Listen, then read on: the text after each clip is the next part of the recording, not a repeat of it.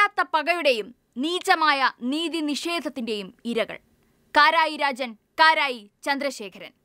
ചെയ്യാത്ത കുറ്റത്തിന് അനുഭവിക്കുന്ന ശിക്ഷ പത്താം വർഷത്തിലേക്ക് കടക്കുമ്പോൾ ഒടുവിലിതാ തലശ്ശേരി ഫസൽ വധക്കേസിൽ ഹൈക്കോടതിയുടെ തുടരന്വേഷണ ഉത്തരവ് കൊലപാതകത്തിന് പിന്നിൽ ആർ എസ് എസ് എന്ന വെളിപ്പെടുത്തൽ അന്വേഷിക്കണമെന്ന ഫസലിന്റെ സഹോദരൻ അബ്ദുൾ സത്താറിന്റെ ആവശ്യം അംഗീകരിച്ചാണ് ഹൈക്കോടതി ഉത്തരവ്.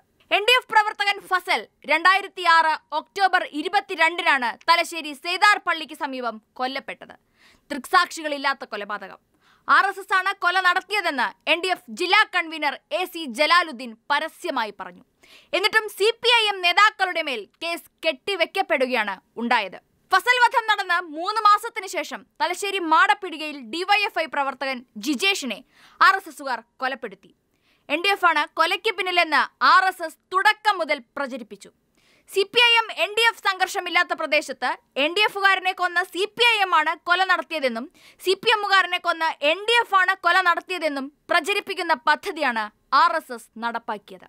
പക്ഷേ ഫസൽ വധക്കേസിൽ ഗൂഢാലോചന എപ്പോൾ എവിടെ വെച്ച് നടന്നു എന്ന് അന്നും വ്യക്തമല്ലായിരുന്നു.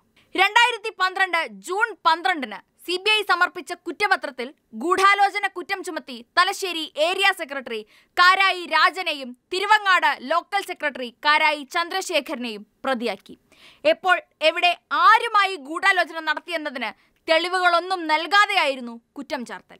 രണ്ടായിരത്തി പന്ത്രണ്ട് ജൂൺ ഇരുപത്തിരണ്ടിന് ഇരുവരും കോടതിയിൽ ഹാജരായി. തുടർന്ന് ഒന്നര വർഷം ജയിൽവാസം.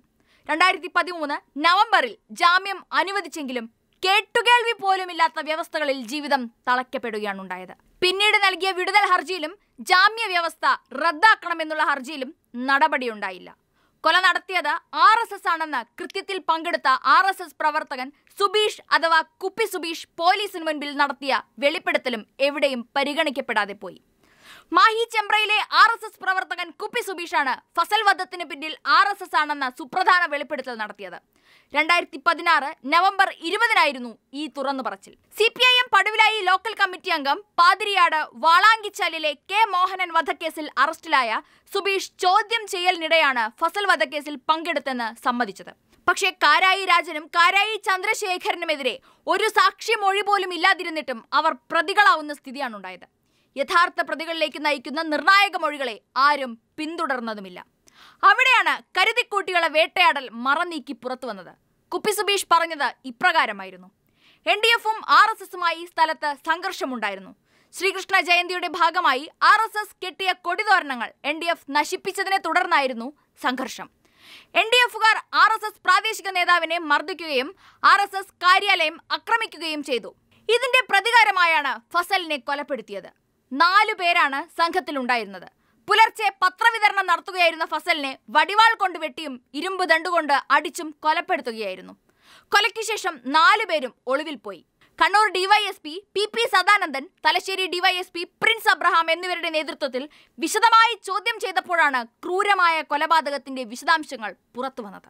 കണ്ണൂർ ജില്ലാ പോലീസ് മേധാവി സഞ്ജയ് കുമാർ ഗരുഡും ചോദ്യം ചെയ്തു. ഫസലിനു പുറമെ സി പി ഐ എം പ്രവർത്തകരായ കണ്ണവം തൊടിക്കളത്തെ ജി പവിത്രൻ കോടിയേരി നങ്ങാറത്ത് പീടികയിലെ കെ പി ജിജേഷ് എന്നിവരെ കൊലപ്പെടുത്തിയതിന്റെ യഥാർത്ഥ വിവരങ്ങളും സുബീഷ് ഉന്നത പോലീസ് ഉദ്യോഗസ്ഥർക്ക് മുന്നിൽ വെളിപ്പെടുത്തിയിരുന്നു. കൂടാതെ ഫസൽ വധത്തിൽ കുറ്റസമ്മതം നടത്തുന്ന സുബീഷിന്റെ ഫോൺ സംഭാഷണവും പിന്നീട് പുറത്തു വന്നിരുന്നു. ഇരുൾ വീണ നീതിയുടെ വഴികൾ ഒന്നും രണ്ടും ദിവസങ്ങളല്ല ഒൻപത് വർഷമാണ് കടന്നുപോയത്. വിചാരണ നടക്കാതെ അനന്തമായി നീളുന്ന കേസ്. ഇന്ത്യൻ ശിക്ഷാ നിയമത്തിൽ നിന്ന് നീക്കം ചെയ്യപ്പെട്ട നാടുകടത്തലിന് സമാനമായ ജാമ്യ വ്യവസ്ഥ കേരളം രൂപീകരിച്ച ശേഷം സമാനമായ മറ്റൊരു സംഭവമില്ല. ജാമ്യം എന്നത് കേവലം സാങ്കേതികമായ ഒരു പദം മാത്രമാവുകയാണ് ഇവിടെ ജാമ്യം അനുവദിക്കാതിരിക്കാൻ മറ്റ് കാരണങ്ങളൊന്നും കാണാത്തതിനാൽ ജാമ്യം അനുവദിച്ചപ്പോഴും അത്യപൂർവ വ്യവസ്ഥകളിൽ കുരുക്കുകൾ മുറുക്കി. സാക്ഷികളെ സ്വാധീനിച്ചേക്കാമെന്ന സാധ്യത കണക്കിലെടുത്താണ് സഞ്ചാര സ്വാതന്ത്ര്യം പോലും വിലക്കിയത്. എന്നാൽ ആധുനിക വാർത്താവിനിമയ സംവിധാനങ്ങളുടെ സാധ്യതകൾ പരിശോധിക്കുമ്പോൾ ഈ നിരീക്ഷണത്തിന് എന്താണ് അടിസ്ഥാനം? വേരറ്റുപോയ വർഷങ്ങൾ. തലശ്ശേരിയുടെ പൊതുമണ്ഡലത്തിൽ വേരാഴ്ത്തി നിന്ന രണ്ട് മനുഷ്യരെ രണ്ട് ജനനേതാക്കളെ മറ്റൊരു നാട്ടിൽ നാല് ചുവരുകൾക്കുള്ളിൽ തളച്ചിട്ട വർഷങ്ങൾ. അത് മാത്രമാണ് ഇവിടെ സംഭവിച്ചത്.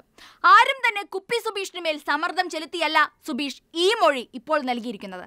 ഇതിനെ അടിസ്ഥാനമാക്കിയും കൊലപാതകത്തിന് പിന്നിൽ ആർ എസ് എസ് എന്ന വെളിപ്പെടുത്തൽ അന്വേഷിക്കണമെന്ന ഫസലിന്റെ സഹോദരൻ അബ്ദുൾ സത്താറിന്റെ ആവശ്യവും അംഗീകരിച്ചാണ് ഇപ്പോൾ ഹൈക്കോടതിയുടെ തുടരന്വേഷണ ഉത്തരവ്. ഇനി എന്ത്? കാരായി രാജന്റെയും കാരായി ചന്ദ്രശേഖരന്റെയും തുറുങ്കിലടക്കപ്പെട്ട പത്ത് വർഷങ്ങൾക്ക് മോചനം ലഭിക്കുമോ? സത്യമെന്തെന്ന് ലോകമറിയുമോ? Let's wait